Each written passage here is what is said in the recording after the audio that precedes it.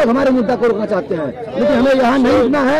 मैं फिर से बताना चाहता हूँ कि जो जेएनयू का आंदोलन चल रहा है ये आज सिर्फ़ और सिर्फ़ जेएनयू का आंदोलन बनकर के नहीं रह गया है। ये आंदोलन इस देश में शिक्षा को बचाने का आंदोलन है। ये आंदोलन जो है ये आंदोलन जो है ये आंदोलन जो है जो एक गुलाम शिक्षा प्रणाली है इसको आज़ाद करने की एक मुहिम है वो आंदोलन चल रहा है कि शिक्षा प्रणाली के लिए हुई आ रही है। जो ब्रिटिशर्स के टाइम में भी थी लेकिन बहुत बड़ा रिफॉर्म नहीं हुआ है। उसको रिफॉर्म करने की ज़रूरत है। आज ये ज़रूरत है कि ये शिक्षा का प्राइवेटाइजेशन हो रहा है। उसको रोकने की ज़रूरत है। क्योंकि अगर शिक्षा का निजीकरण हुआ तो उसमें सिर्फ़ और सिर्फ़ जो वंचित समुदाय है जो गरीब है जो आदिवासी लोग हैं जो महिला साथी हैं वो लोग शिक्षा से वंचित होंगी। तो हम लोग इसके खिलाफ खड़े हैं। और ये आंदोलन में हम लोग सभी से आह्वान कर रहे हैं। इस देश में जितने यूनिवर्सिटी हैं, जितने कॉलेज हैं, सभी छात्रों से हमने आह्वान किया है कि आप इस मूवमेंट में हमारे साथ खड़ा होइए ताकि जो सस्ती शिक्षा है, सिर्फ़ जेएनयू में ही नहीं जेएनयू के साथ साथ देश में जितने विश्वविद्यालय हैं, केंद्रीय विश्वविद्यालय, राज्य विश्वविद्यालय आई आपका मैनेजमेंट का मेडिकल सब में सस्ती शिक्षा होनी चाहिए ताकि ताकि गाँव का जो मेधावी गरीब छात्र है, जो महिला साथी हैं उन लोग भी जाकर के मेडिकल की पढ़ाई कर सके, वो लोग भी आईआईटी में दाखिला ले सके, वो लोग भी विश्वविद्यालय में पढ़ाई कर सके। लेकिन आज का जो सरकार है, उसने शिक्षा को बेच दिया है, हमारी लड़ाई उसके खिलाफ चल रही है। हमारी लड़ाई इसके लिए भी चल रही है कि जो जो देश के जो गरीब, जो गाँव में जो लोग बसते हैं, उन लोग का भी प्रेजेंस हो, उन लोग का भी एडमिशन विश्वविद्यालय में हो, चाहे जेएनयू में हो, चाहे देश के अदर यूनिवर्सिटी में हो। रही बात जो जेएनयू की जेएनयू का अगर शिक्षा आज सस्ती है तो सिर्फ़ अभी तक सिर्फ़ इसलिए इंश्योर हो सका था कि यहाँ का स्टूडेंट जहाँ का स्टूडेंट यूनियन ने लड़ करके अपने आंदोलन से इस बात को इंश्योर किया था कि शिक्षा जो है, एक कमोडाइजेशन की चीज़ नहीं है। शिक्षा जो है कमोडिटी नहीं है। शिक्षा सभी का अधिकार है। इस बात को हम लोग आज तक इंश्योर कर पाए थे, लेकिन आज का जो सरकार है फिर से उस नरेशन को तोड़ने में लगी हुई है। फिर से वो शिक्षा को कम्युनिटी बनाना चाहती है। फिर से वो शिक्षा को बेचना चाहती है। इसीलिए आज जो जेएनयू का जो जो स्टूडेंट है, आपने देखा कि कल भारी मात्रा में सड़कों पर उतरा था। और वहाँ पर सिर्फ़ जेएनयू का स्टूडेंट नहीं था। जेएनयू के साथ साथ जामिया के लोग थे एयूडी से लोग थे आईआरटी के लोग आए थे डीयू से लोग आए थे, राजस्थान यूनिवर्सिटी से आए थे, जिंदल और अशोका यूनिवर्सिटी के लोग भी आए थे।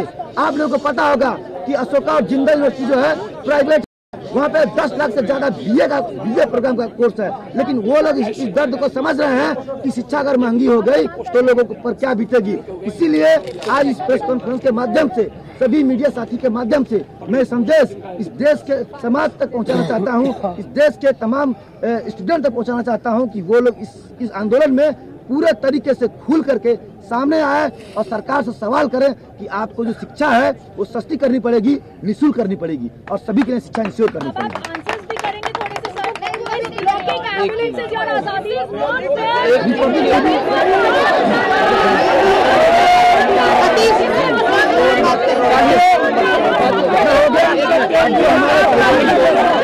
जो हमारे साथी लोग घायल हुए हैं वो लोग अपनी बात को रखेंगे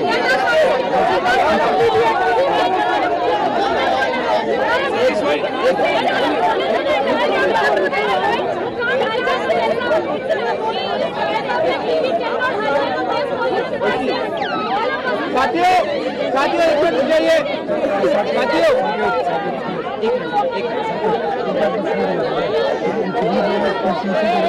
साथियों साथियों रुक जाइए साथियों देखिए ये पहला प्रेस कॉन्फ्रेंस नहीं है जेएनयू में हुआ है और जेएनयू छात्र संघ ने किया है। आज तत्व हमारे बीच आए हैं प्रोवोक करने के लिए और हमको डिस्ट्रैक्ट करने के लिए। चाहे जो भी हो, इनको एकदम तवज्जो नहीं देना है। ये चाहते हैं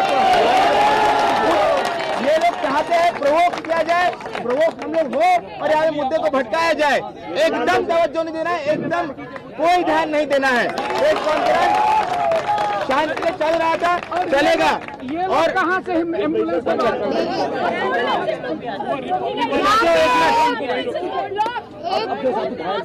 हम लोग यहाँ पे एक शांतिपूर्वक तरीके से प्रेस कॉन्फ्रेंस करने आए हैं। हम वो करेंगे हम अपनी सच्चाई दिखाएँगे। यहाँ पे अगर कोई प्रोवोक करने की कोशिश करेगा उसको प्लीज़ हाईलाइट ना किया जाए।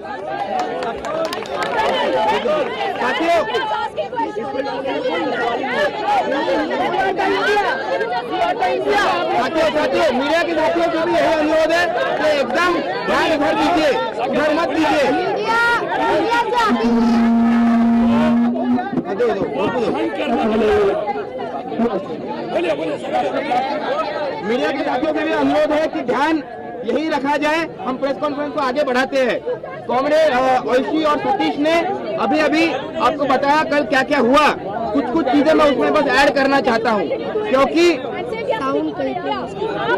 सुबह जब इन दोनों को डिटेन किया गया, और सबसे पहली बात यह है कि इनको डिटेन किया गया बहुत सोचा समझा तरीके से। साथियों, शांत हो जाइए, सुन लीजिए बात को। भाई हाँ। कल दोपहर को इन दोनों को बहुत सोचे समझे तरीके से टारगेट करके डिटेन किया।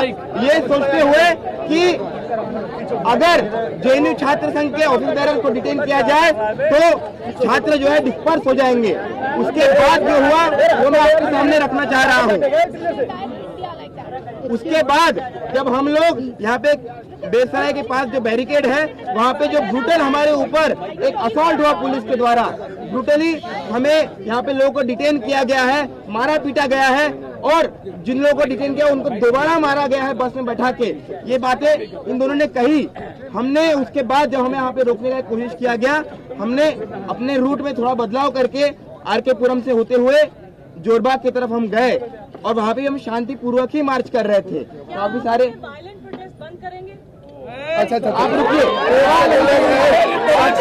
मैं जवाब दूँगा। मैं जवाब दूँगा। मैं जवाब दूँगा। मैं जवाब दूँगा। मैं जवाब दूँगा। पहली बात तो ये है पहले हम लोग बोल रही है मैं और दूसरी बात कल कल का पूरा चीज़ मुझे बोल लेने दीजिए एक बार।